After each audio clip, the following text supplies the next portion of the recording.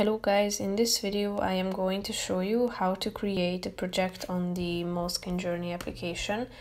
But first I just want to mention, don't forget to subscribe to my channel because at 10,000 subscribers I am going to show you my whole YouTube revenue statistics and growth strategy, how to make money online. So let's jump into it.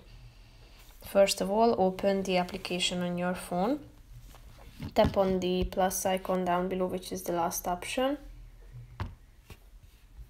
here you should select the name of your project.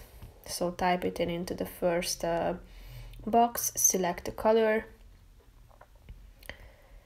After that, add uh, tags.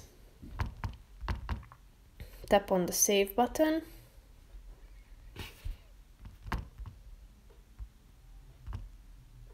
And uh, here you can see the uh, items added to the projects section. So if you tap on it, you are going to see uh, the title of your project at the top and uh, you can uh, type in uh, your text and you can insert uh, files, sketches, pictures, links, tasks, timers and so on to your uh, project. Here if you want to add the file, you can tap on it and insert it into your uh, project. you can also create a sketch and so on. So here if you tap on it you are going to see how it looks like.